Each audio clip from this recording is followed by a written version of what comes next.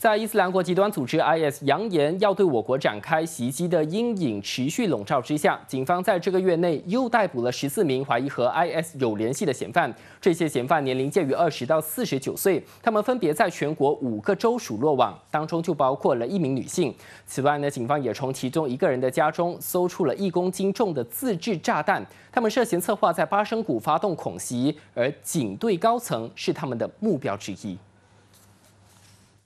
国内多次传出 IS 成员企图用自制炸弹袭击警队高官显要，在反恐警方布下天罗地网后，终于逮捕了十四名嫌犯归案。全国警察总长丹斯里卡利阿布巴卡透过文告宣布，警方本月十四号到二十号期间，在吉隆坡、雪兰莪、霹雳、吉打、槟城和沙巴逮捕年龄介于二十到四十九岁的 IS 嫌犯。警方在逮捕行动中也起获一个一公斤重、已经完成的简易爆炸装置。当局相信 IS 企图用有关的爆炸装置在巴生谷发动袭击活动，落网的嫌犯四人是无业人士，三人是自雇人士，两人是厨师，还有一人是学生。他们和上个月落网的 IS 成员来自同一分支。警方也透露，涉案的四十三岁女嫌犯在霹雳落网，该名女子主要是负责 IS 的宣传工作。警方将援引二零一二年国家安全罪行法令调查所有落网嫌犯。NTV 七综合报道。